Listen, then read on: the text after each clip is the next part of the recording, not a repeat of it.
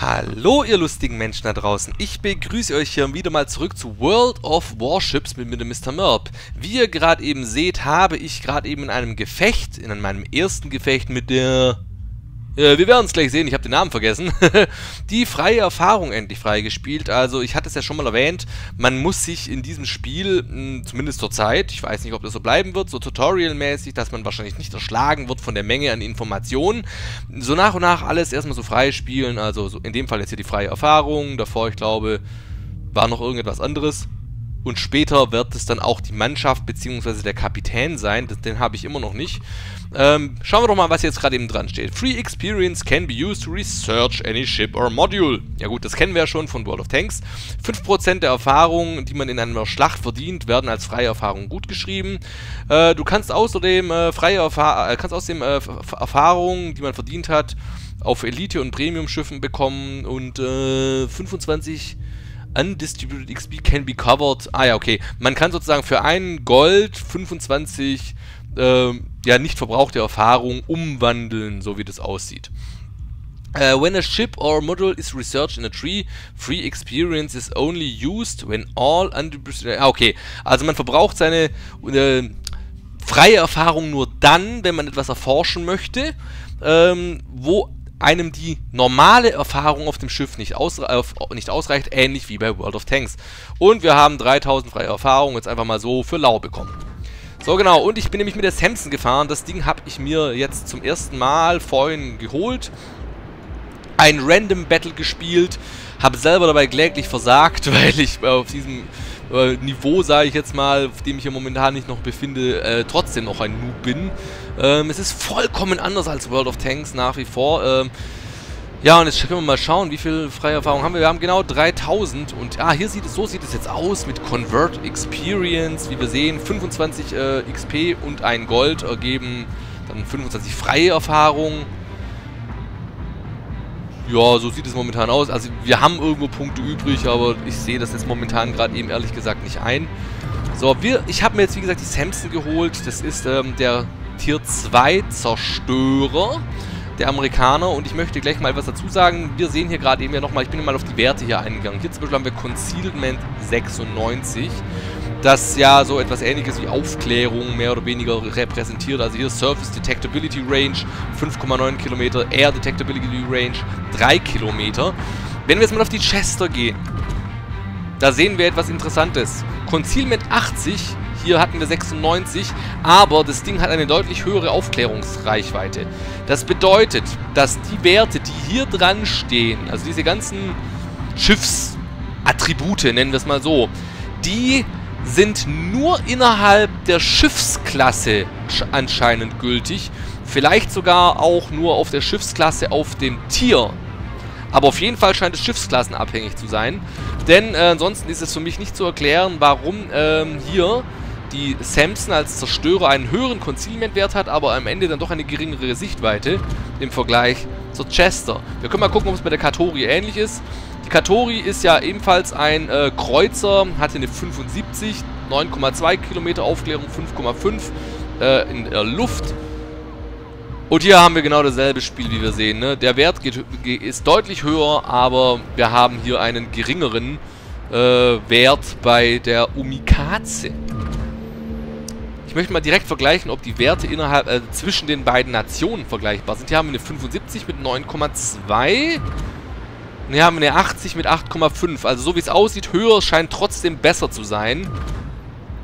Ansonsten, wobei, kann man anscheinend nicht pauschalisieren. Wie wir sehen, hat äh, die äh, Katori einen höheren Surface Detectability Range bei einem geringeren Concealment Wert und einen höheren Air Detectability Range. Die Chester dagegen hat den höheren Concealment Wert, aber ist in beiden Werten schlechter.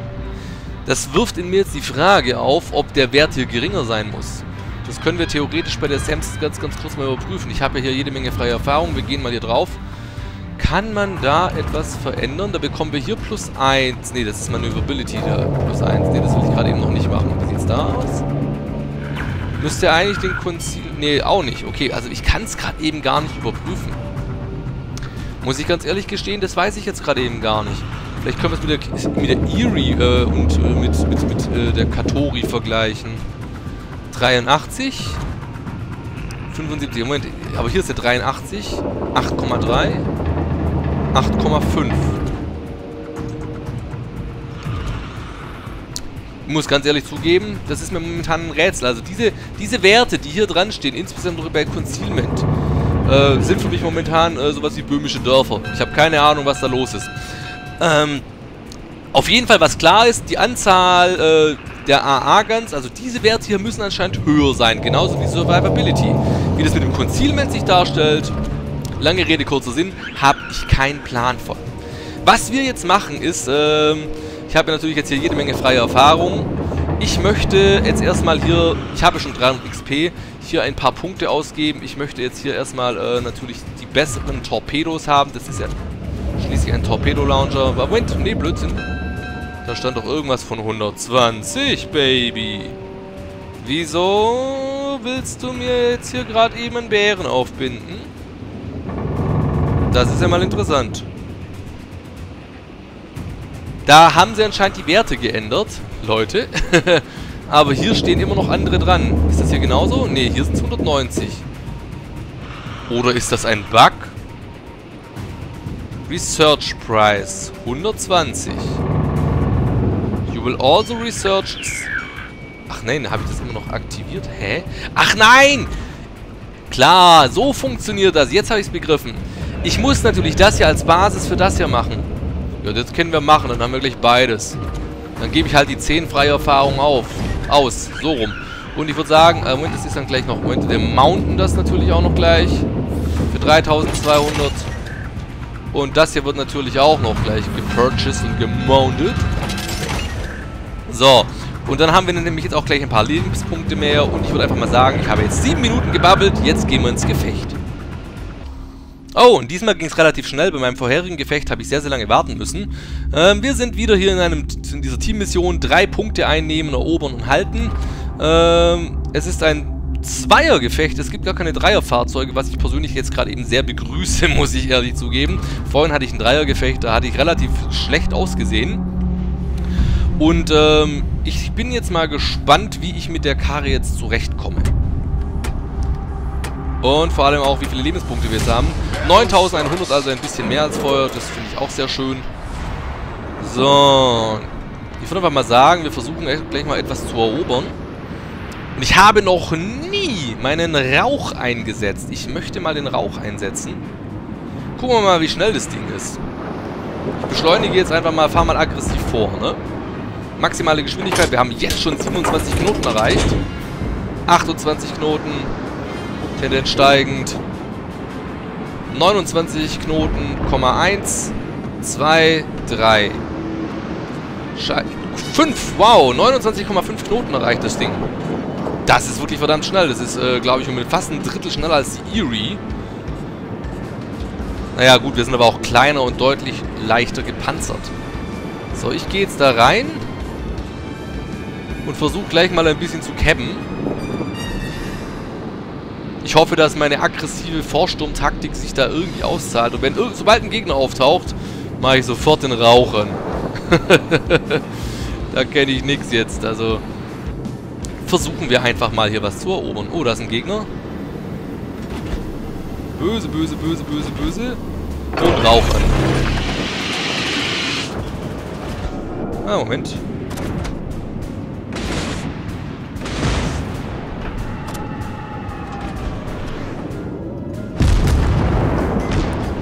Haben wir auf jeden Fall mal geschossen. Ah. Oh, den habe ich gut getroffen. Hohoho. Das war lustig. Das hat mir Spaß gemacht.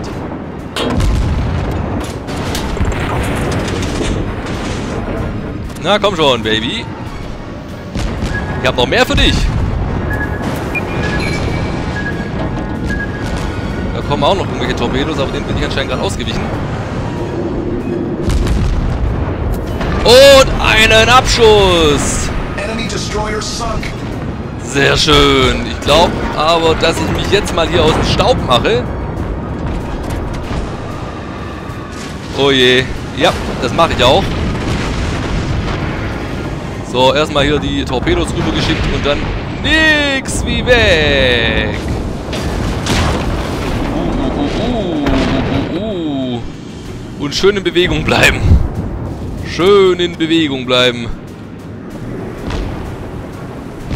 Ich weiß gar nicht, ob gerade eben auf mich geschossen wird. Ich will es auch ehrlich gesagt gerade gar nicht wissen. So, mitten durch die Boje durch. Kevin, kannst du jetzt gerade eben kurz mal alleine, mein Freund.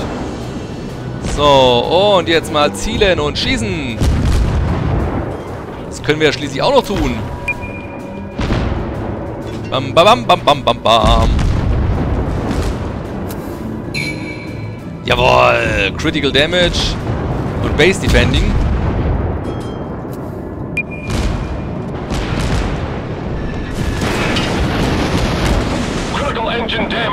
Äh, wir haben Critical Engine Damage, das ist nicht gut. Wenden! Ich glaube, wir brennen gerade eben sogar. Ne, tun wir nicht.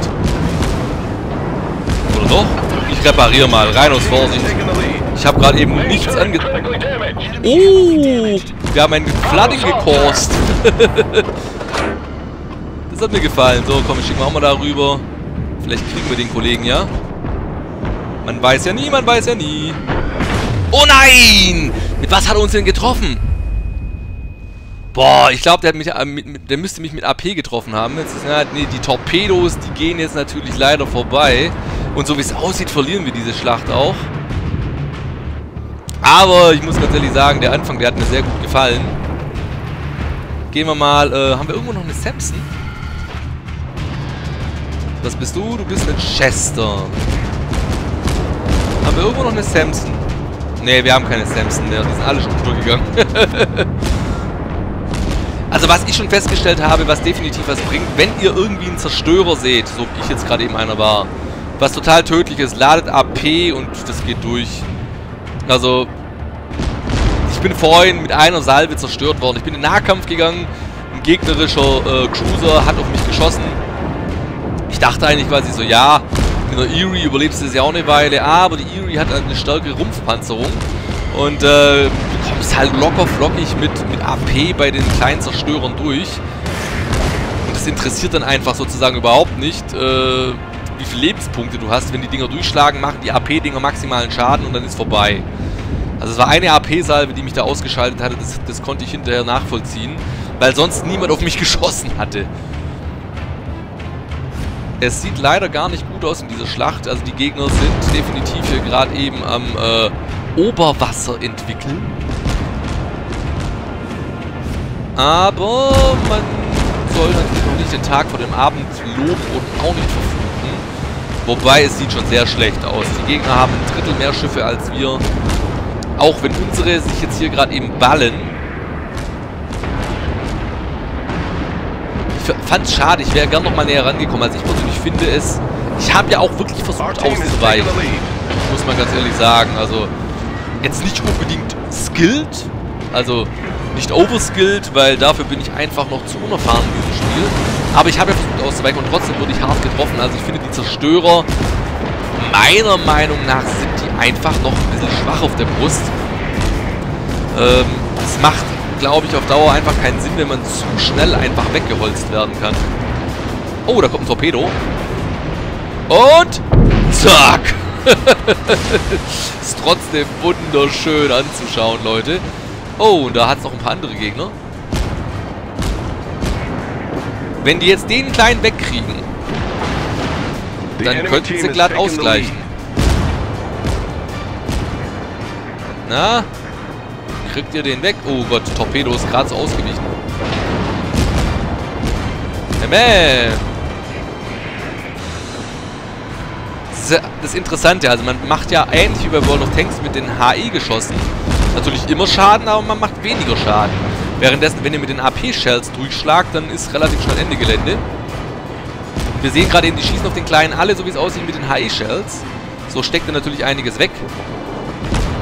Wenn die allerdings mal einmal eine AP-Schelle laden würden, ja gut, jetzt haben sie ihn trotzdem erwischt, dann würde die Sache wieder ganz, ganz anders aussehen. Und apropos ganz, ganz anders aussehen, wir sind jetzt gerade eben dabei, äh, Gegnerschiffe hier zu zerstören, so wie es aussieht mit unserem Team, also mit dem überlebenden Team. Aber die haben gleich alle drei Punkte erobert. Weiß ehrlich gesagt gerade eben gar nicht, wie das ähm, genau aussieht. Wir gehen mal darüber. Da ist gerade eben da drüben ein, äh, eine Chester mehreren Torpedos entgangen.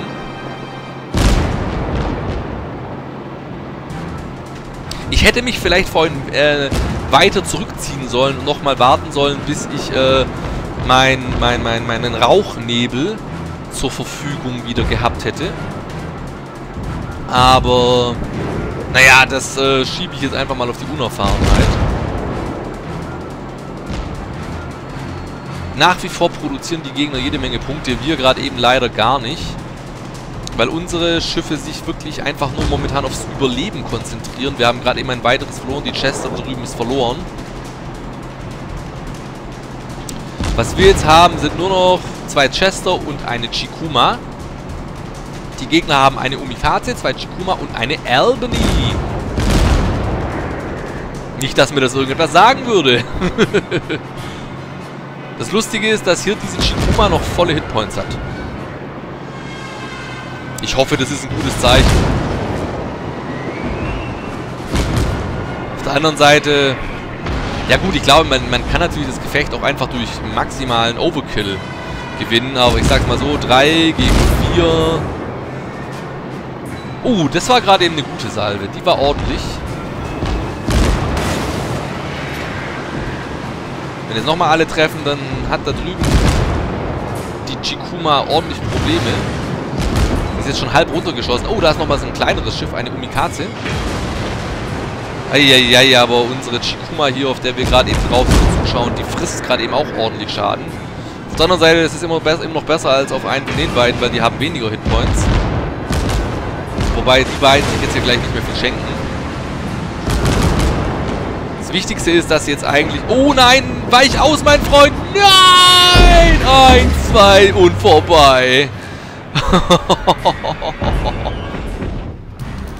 Ach, jetzt, jetzt komm schnell auf das nächste Schiff hier drauf. Das waren verdammt gut gezielte Torpedos. Zack, zack.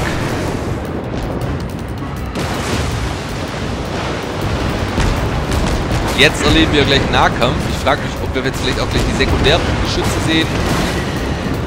Gucken wir mal auf das hintere da unten, ob das schießt. Uiuiuiui. Uh, dein Rammangriff! Boah! Heiliges Kanonenrohr, die haben sich gegenseitig zerstört.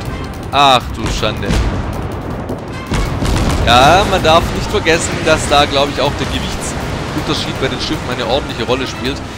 Ja, und ich glaube, der gute Kamerad hier, der hat keine Chance. Boah, der hat gerade einen echt üblen Treffer kassiert. Die Chester, die segnen jetzt, glaube ich, gleich das Zeitliche, sobald die nächste Salve trifft dürfte es das gewesen sein mit 400 Hitpoints. Reicht wahrscheinlich schon ein Delfin, der versehentlich mit dem Schiff kollidiert. Ja, da haben wir ihn auch. Den Flugdelfin.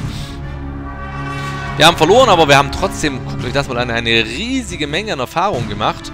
Äh, für das, was wir hier angerichtet haben. Und ich habe ja auch zwei Missionen completed. Das fand ich gerade eben sehr, sehr schön. 43.000 Credits gemacht, das ist auch sehr, sehr gut. Wie sieht's denn aus? Wie gut waren wir denn? Wir waren drittbester. Wow. Ich bin beeindruckt. Geil, gefällt mir. Ja, aber das lag sicherlich an der Aktion am Anfang. Das war richtig, richtig cool. Hat mir echt gefallen. Boah, der hat fünf Gegner anscheinend zerstört. Krass. Das ist echt krass. Also der war echt gut, der Typ. Hm. Schade, schade, schade drum. Wir schauen mal. Wir haben jetzt ordentlich viele Punkte. Das Problem ist, wir haben viel zu viele Punkte. Ne, stimmt gar nicht. Zu viele Punkte äh, haben wir gar nicht. Na komm schon, lad, lad, lad. Äh, denn wir können ja die Punkte jetzt hier quasi auf, das, auf den nächsten Zerstörer natürlich dann äh, ausgeben. Ich dachte gerade eben schon, die, die Punkte wären verloren, aber ja, Denkfehler. So, da sind wir auch schon. Module. Jetzt können wir mal gucken, wenn wir das hier einbauen, bekommen wir eine 10%ige Feuer, äh, also Firing Range Increase, also eine Erhöhung um 10% der Feuerreichweite. Und ähm, das bedeutet, dass wir am Ende bei 8,6 Kilometer sind. Wird eingebaut. Ja, erst erforschen, dann eingebaut, schon klar. Moment, muss husten. So, und dann schauen wir doch mal, was würde denn laut TechTree danach kommen und was würde es kosten. Danach würde die Wickes kommen, oder die Wickes, oder was auch immer. Du würdest kosten 1900 Punkte. Da sind wir natürlich noch ein bisschen von entfernt, wobei auf der anderen Seite, wenn wir nochmal so ein Mega-Match hinbekommen, was ich nicht glaube, dann äh, ist das relativ zu betrachten, dann ist das ganz, ganz schnell passiert. Auf jeden Fall muss ich sagen, also das Ding hier macht Spaß, es ist verdammt schnell. Ähm, ich muss mal ein bisschen üben, wie man mit diesen Dingern rumfährt. Ich weiß noch nicht, was mir so liegt. Ich muss auch zugeben, gehen wir nochmal auf den Tech-Tree. Ich kenne ja noch gar nicht, was es... Also noch gar nicht all die Möglichkeiten. Hier gibt es jetzt ja noch die, die Trägerschiffe bei den Amerikanern. Da kommt man von der St. Louis aus hin. Habe ich natürlich auch noch nicht freigeschaltet. Gehen wir mal auf die Japaner. Die haben keine Trägerschiffe, so wie es aussieht, sondern die haben Battleships.